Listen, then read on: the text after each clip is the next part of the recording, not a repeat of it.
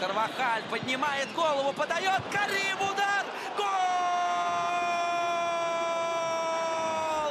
Бензема забивает свой мяч, и они сделали это ровно так же, как неделю назад.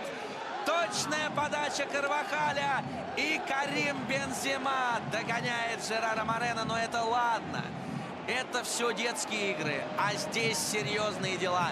Карим Бензема